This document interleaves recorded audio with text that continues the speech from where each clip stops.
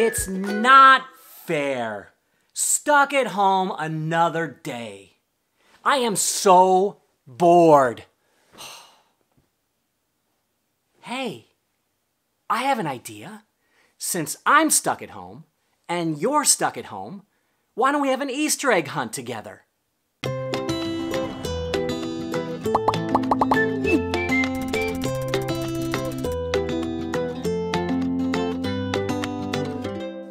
Here's how it's going to work. There are colored Easter eggs hidden at your house. Some of them have treats in them, but some of them have pictures from the Easter story. When you find all of the eggs, open them up with your family. While you're eating some of the treats, see if you can put the pictures in the right order. It's okay if you don't get it right the first time. We'll figure it out together. Are you ready? When I count to three, pause the video. I'll see you again when you're all done. Easter Eggstravaganza in three, two, one, pause.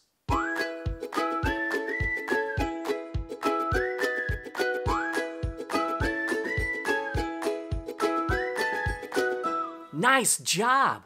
You found all the Easter pictures. Let's see if you know what order they go in. Hold up what you think is the first picture. I'll give you a second. Are you holding it up? Okay, good. Let's see if you're right. Is this the picture you picked? If not, that's okay. Put this picture into square number one. The Bible tells us that Jesus is the King of everything. One day, as Jesus was entering the city of Jerusalem, his disciples brought him a donkey to ride on. As Jesus was riding through town, a big crowd of people gathered around him. The people spread their coats and palm branches on the ground in front of Jesus. At that time, that's how people welcomed kings and heroes. Altogether, they shouted out to Jesus, Hosanna! Blessed is the one who comes in the name of the Lord. Okay, we're ready for the next picture. Hold up what you think is picture number two. Go ahead, I'll wait. Are you holding it up? Okay, let's see if you're right. Is this the picture you're holding up? If so, great job! Put this picture onto square number two. Days later, Jesus gathered his 12 disciples together for a special dinner. While they were eating, Jesus told them some shocking news. One of them, a disciple named Judas, was going to have Jesus arrested. Nevertheless, Jesus took a loaf of bread. He tore off some pieces and gave them to his disciples. Then he said, When I'm gone, this bread will remind you of my body, which is going to be broken for you.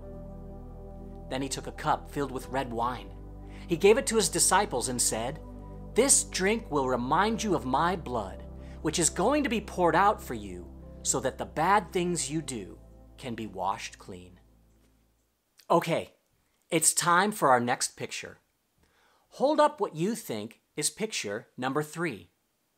Go ahead, hold it up really high. I'll give you another second. Are you ready? Okay, here it is. Is this the picture you're holding up? If not, don't worry about it. Put this picture onto square number three. After dinner, Jesus took his disciples to a place called the Garden of Gethsemane. In the garden, Jesus started to feel really upset. He knew he was going to die soon, so he prayed to God and said, Father, if you want, make my pain and sadness go away. But do what you want, not what I want. Moments later, Judas appeared. But he wasn't alone. He brought soldiers with him. And just as Jesus had said, Judas betrayed him. The soldiers grabbed Jesus. They arrested him and they dragged him away to jail. I think it's picture time again. Hold up what you think is picture number four. There's only two pictures left. I know you've got this. Okay, are you ready? Here it is. Is this the picture you're holding up? If so, way to go! Put this picture onto square number four. The next day, Jesus was taken to court. He was innocent. He hadn't done anything wrong, ever. But the people in the crowd didn't believe Jesus. They didn't think he was the Son of God or the King of anything. So they shouted for Jesus to be punished. Crucify him, they shouted, which means put him to death. And that's what they did. First, they nailed one of his hands to the cross, then the other hand. Then they nailed his feet to the cross, and Jesus hung there until he died. Even though it was daytime, the whole sky turned dark as night. It was as if the earth itself wept for its maker, King Jesus. After Jesus died, one of his friends took him off the cross. He put his body in a tomb and rolled a giant stone in front of the opening. It was the saddest day ever. But it didn't stay sad. Okay, it's time for our last picture. I know you can do this. There's only one picture left. So go ahead and hold up what you think is picture number five. I'll give you zero seconds because it's that easy. Is this the picture you're holding up? If not, something has gone terribly wrong. Put this picture onto square number five. Three days later, some women went to see the tomb. When they got there, there was a powerful earthquake. Then an angel of God came down from heaven and rolled back the big stone. He said to the women, Don't be afraid. I know you're looking for Jesus, but he is not here. He has risen, just as he said he would. The women were so happy. They ran to tell the disciples the good news. But suddenly, while they were running, Jesus appeared to them. It was a miracle. Jesus was alive.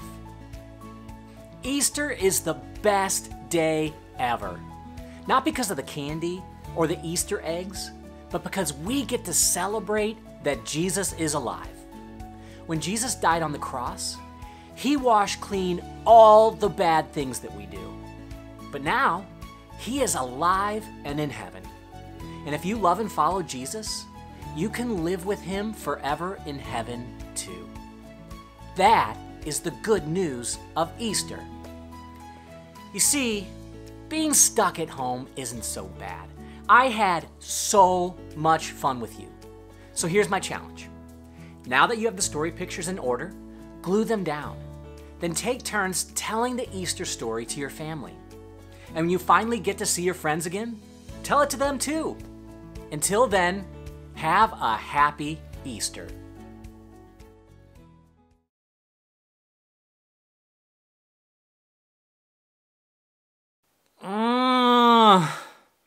I'm so bored again. What should I do? Wee!